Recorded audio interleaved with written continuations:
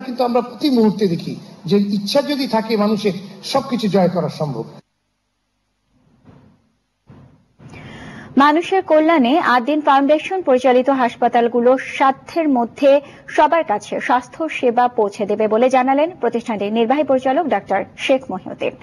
শনিবার সকালে রাজধানী মগবাজারে আদিন হাসপাতালের বর্ধিত অংশ, মমিন ভবন ও আফিল ভবন উদ্বোধনকালে কথা জানান তিনি। এ সময় শিল্পপতি মরহুম শেখ আকিজ উদ্দিনের স্ত্রী সখিনা বেগম, শেখ আফিল উদ্দিনের এমপি মরহুম শেখ মুমিনের স্ত্রী আরজুমান আরা সিদ্দিকী ও আদ্দিন হাসপাতালের মহাপরিচালক প্রফেসর ডাক্তার নাহিদ ইয়াসমিন সহ অনেকে উপস্থিত ছিলেন। অনুষ্ঠানে জানানো হয়, শিগগিরই আদ্দিন হাসপাতালে কিডনি ডায়ালিসিস সুবিধা চালু হবে।